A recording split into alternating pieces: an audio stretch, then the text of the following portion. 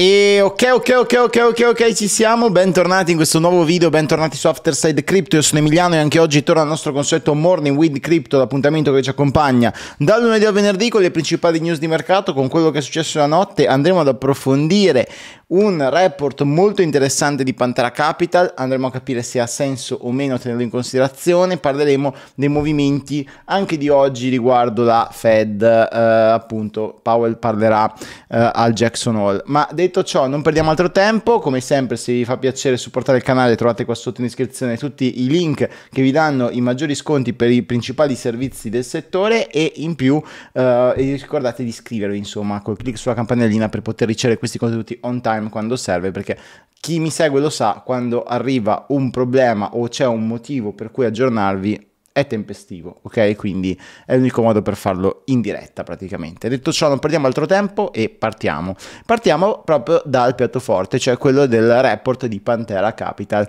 che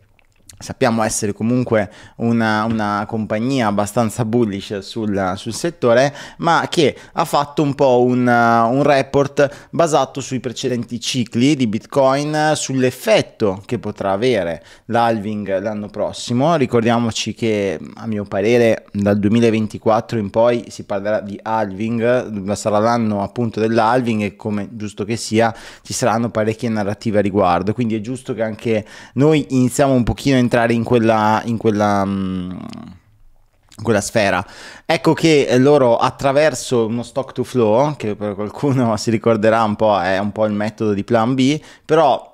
preso come lo utilizzano loro, cioè utilizzando delle metriche un pochino meno accentuate, basate un po' di più sulla storicità anche dell'ultimo ciclo che abbiamo appena vissuto, eh, hanno dato una proiezione, ovvero la proiezione è che al giorno dell'halving che è stimato qui verso il 20 aprile eh, dovrebbe arrivare un prezzo circa di 35.448 dollari, a prendere estremamente con le pinze, dopodiché dovrebbe innescarsi un rally del 4,2 per che porterebbe il prezzo a un 147 mila dollari circa di top. Questo come è stato fatto, come ho detto prima, attraverso il modello di stock to flow e alla riduzione dell'offerta che porterà all'halving. È ovvio che vedete anche storicamente come gli impatti di ogni halving pre e post nei cicli di uh, bull market siano sempre inferiori, cioè non c'è mai più, c'è più stato un 30 per un 93 per, infatti l'ultimo ciclo ha avuto un 7,8 per, che sono ottimi numeri comunque, anche un 4,2 per sulle cifre in cui stiamo parlando oggi è un ottimo numero,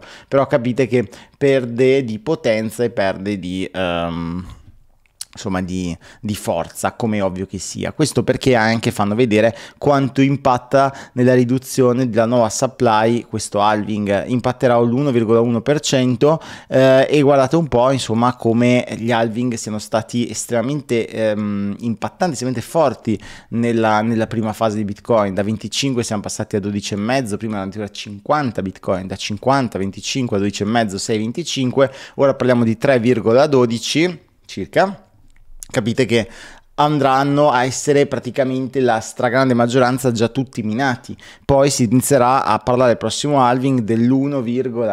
ok? 1,5, 1,55 se non sbaglio, basta fare diviso 2 con la calcolatrice e capite che di conseguenza l'impatto sarà sempre più basso e quindi sarà un po' l'emancipazione di Bitcoin quella che dovrà portarlo a sostenersi con le sue mani eh, senza per forza un impatto dovuto da un halving che eh, vada a dimezzare perché l'impatto sarà sempre più basso e le percentuali saranno sempre più basse. Questo lo vedremo nel tempo, soprattutto nella storia che avrà Bitcoin di come verrà applicato, inglobato nella finanza che conosciamo, dagli istituzionali, quanto riuscirà a emergere, entrare nell'economia di tutti i giorni e soprattutto uh, quanto verrà appunto sostenuto dalle community. Lo vedremo mm, sicuramente nei prossimi anni. Uh, e quindi insomma si arriva a questa, questa previsione, come vi dicevo prima, insomma del, di 147 mila dollari di top. Fatemi sapere cosa ne pensate anche voi. Io personalmente, lo sapete, preferisco fare le cose day by day, infatti faccio dei video giornalieri, cerco di seguire il mercato con voi, cercando di darvi le informazioni che possono aiutarvi nelle vostre, nelle vostre giornate ogni giorno, quindi non mi piace fare le previsioni della sfera di cristallo perché spesso possono essere un po' buttate lì, abbozzate e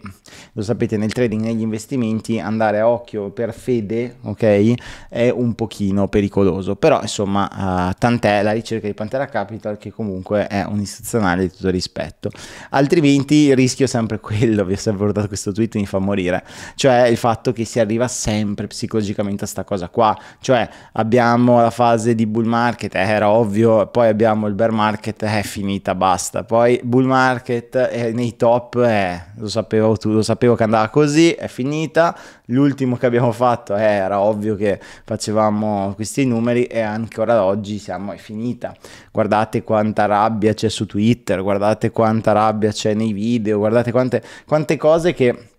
sono tutte emotività, ragazzi, tutte emotività di parecchie persone che purtroppo ragionano in questo modo qui ed è il modo perfetto per comprare qua e vendere qua, comprare qua e vendere qua. Purtroppo, ripeto, non, non, faccio, non do consigli di investimento finanziario proprio per questo, perché diventa pericoloso nella gestione della propria emotività. Bisogna lavorare bene su se stessi, per questo ci sono anche dei percorsi appunto che trovate sul nostro sito, ma non mi interessa tanto starne a parlare, è più una questione, ripeto, di se stessi, di come si approcciano questi mercati che sono estremamente complessi, ve lo assicuro. Quindi quando ci entrate dovete mettervelo bene in testa che non è tutto semplice, non sono soldi facili le cripto, ok? Quando lo capirete inizierete a farli, altrimenti li perdete, vabbè, è poco ma sicuro.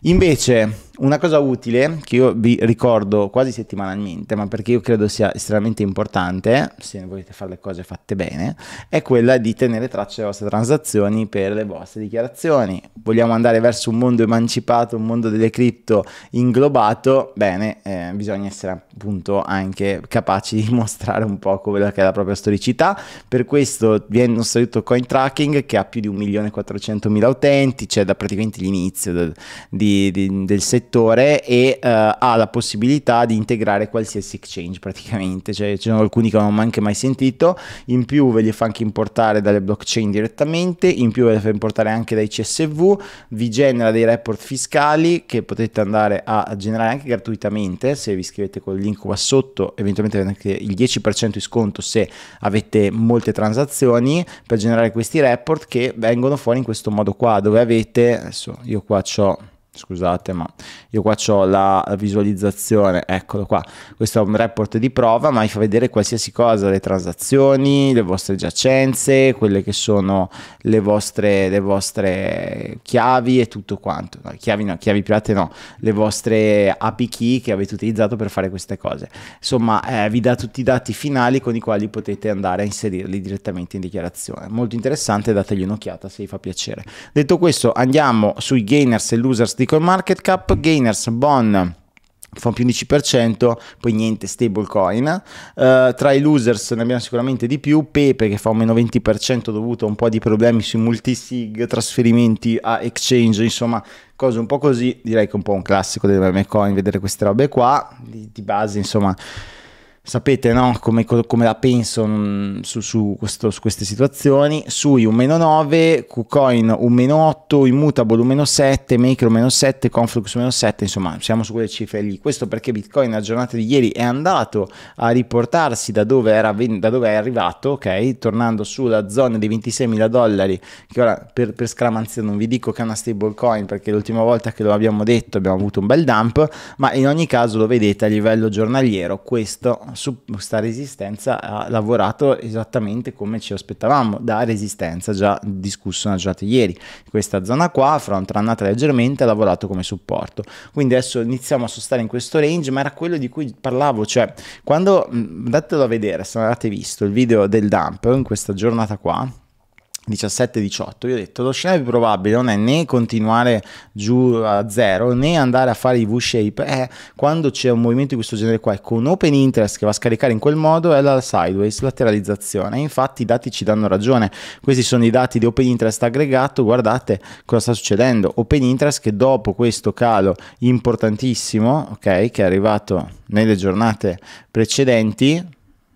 No, perché sono su, su BNB, ho sbagliato, scusatemi. Se andiamo su Bitcoin, eh, nelle giornate precedenti abbiamo avuto questo dump, questo calo di Bitcoin, lo vedete poi, non andando a recuperare open interest, il prezzo rimane sideways perché c'è poca benzina, c'è poca uh, sostanza. Stessa cosa vale per i, um, il founding rate che è molto laterale, non ha direzionalità forte e anche le uh, liquidazioni non praticamente insignificanti, ok? Eh,